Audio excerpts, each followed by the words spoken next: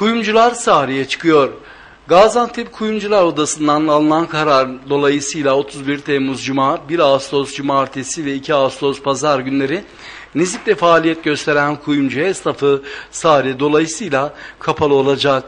Nizip Kuyumcular Odası Başkanı Mustafa Kaya tarafından yapılan yazılı açıklamada bu yıl esnafın serbest olduğu toplu bir sahne yerine isteyenin istediği yerde bu günlerini geçirecekleri kaydedildi.